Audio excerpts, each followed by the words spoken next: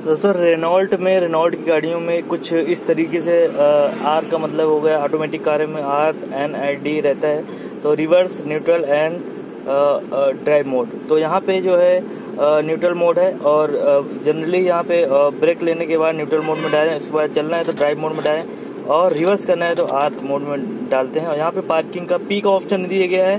घबराने की ज़रूरत नहीं, यहाँ पे पार्किंग का ऑप्शन पार्क पर जो हैंड ब्रेक है इस, उसके बाद न्यूट्रल करने के बाद हैंड ब्रेक लगा दो आप सिंपली वही काम करता है। तो कुछ इस तरीके से रेनो में क्विड में या ऐसा दिया गया है ऑटोमेटिक वेरिएंट में।